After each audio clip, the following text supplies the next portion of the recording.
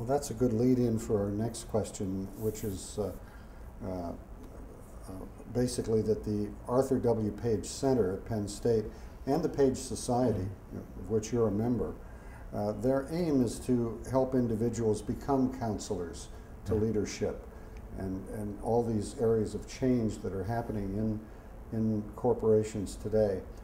How can individuals best prepare themselves for this role as counselors to leadership? Yeah. Well, I think it goes beyond counseling today, particularly if you're in a chief communications officer role. And you have to deeply understand the business. I think increasingly today, and you know, I work today in the technology environment, and there's constant change in technology and, and e-commerce, and you can be disrupted from so many different directions every day. And so you almost have to think like a general manager would and really be deeply grounded in the business, the business model, and what the business is trying to solve for. And then your role as a chief communications officer is to apply your communications expertise to how do we help address those business opportunities and business challenges.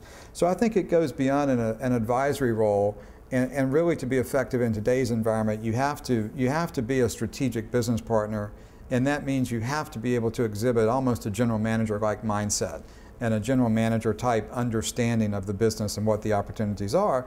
And then your role is to bring communication solutions to those business opportunities and business challenges. What would you say the status of, uh, of chief uh, corporate communications uh, persons is in, in this environment today? Is it uh, growing in importance? Is it diminishing?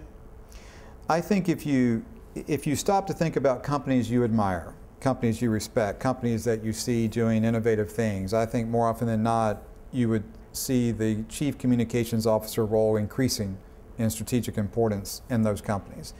Um, you know, our profession is rapidly changing and rapidly evolving, so every company structured a little differently and modeled a little differently.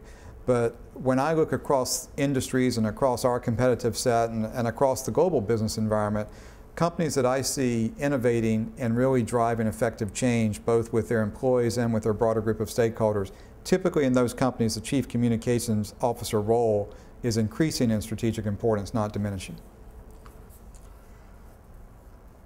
What are the most important issues, the enduring truths that you've learned in your career? You got to keep it real. I mean, you've always got to, you know, again, back to authenticity. What, what are we really trying to solve for, and, and, and are we simplifying it? Um, are, are we telling an authentic story in a transparent way? You know, is, are we delivering our messages? Are we really engaging with people? I think those are the universal truths because eh, when you don't do that, people get that. People understand that and, and it undermines credibility, it undermines everything that, that good brands and great companies stand for. You know, great companies are, are, are typically values-driven companies. They have a strong set of principles. They have a strong set of values that they live by. You know, business cycles come and go. Companies have good times and companies have bad times. Great companies come through the bad time even stronger because they're grounded in a clear set of values and what they believe in, and they're grounded in a clear set of ethics and operating principles and that helps them weather downturns, the inevitable downturns in a business cycle, and come out stronger. And I think, you know, in the communications profession, always digging down to what are we really trying to solve for? What's the real business issue here? What are we really trying to communicate? Who are we really trying to engage? Do we really understand who our intended audience is?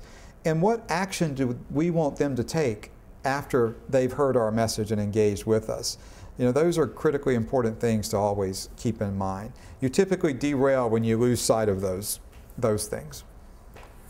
What are the changes you've observed in the practice of public relations during your career? I think you might have alluded to some of this actually in your, uh, when you were talking about your career trajectory, but what are the significant changes that you've seen? Well, I think that the most significant change I see is, is in leading companies, communications is becoming a core business strategy. And, um, and, and, executives at these types of companies, operating management at these type of companies, see communications as a strategic operating tool and something that's essential to the business. And I think that's very different than when um, communications was seen as an afterthought or communications was seen as more of a support function or a service function versus a strategic function in, in the organization. And so that change is, is, is very exciting. Um, I, I, am more excited. I've been in this for 20, 25 years now, 25 years now. There's more opportunity and more innovation happening in our profession and in the communications world than I've ever seen.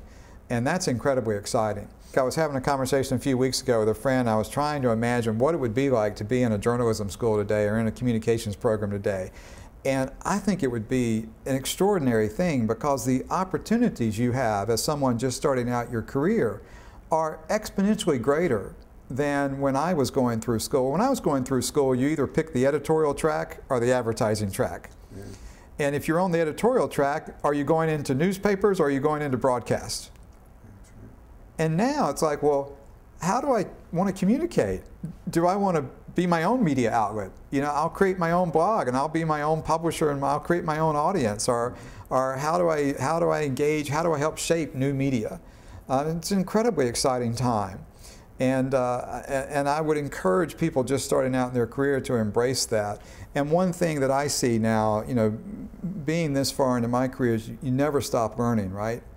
And, and the, there are a lot of external factors forcing you to reevaluate and rethink the way you, you do things. But, but I guess another universal truth is you, have always got to fight complacency and, and inertia, right? You push yourself to innovate. Um, because that's what will help you grow and develop, and it'll make you a better communicator, and it'll make the organization you're working for a better organization. Always figure out where the next innovation is coming from and, and drive for that.